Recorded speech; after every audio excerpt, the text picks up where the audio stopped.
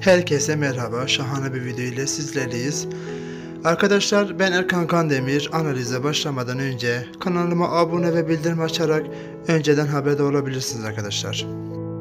Zalim İslam dizisinde bu hafta neler olacak? Paradesi en sevdiğim dizi diyenler videoyu hemen beğensinler arkadaşlar. Diziye Kıvanç Tatlıtuğ katılsa nasıl olur? Yorumlar belirtelim. İşte dizimizde bu hafta olacaklar.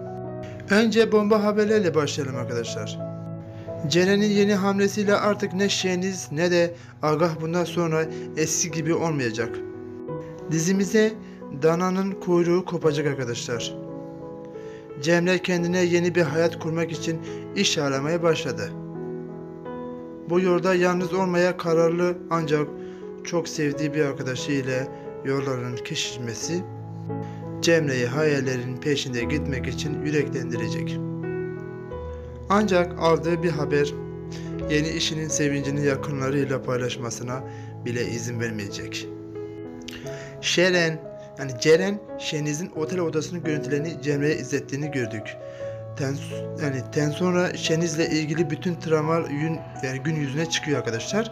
Şeniz, Cenk ile Nedim'in kardeş olduğu gerçeğini gizlemesi için Cemre'yi susturduğunu zannetse de asır tehlikeyi hiç beklemediği bir yerden Ceren'den gelmektedir.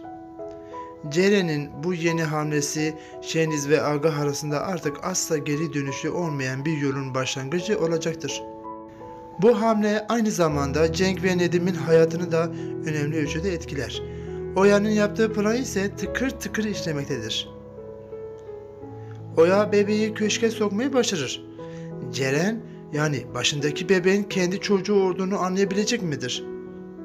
Bu dizi fragman analizi videomuzun son, daha sonra geldik arkadaşlar. Kanala abone olmayı, bildirim açmayı da unutmayın arkadaşlar.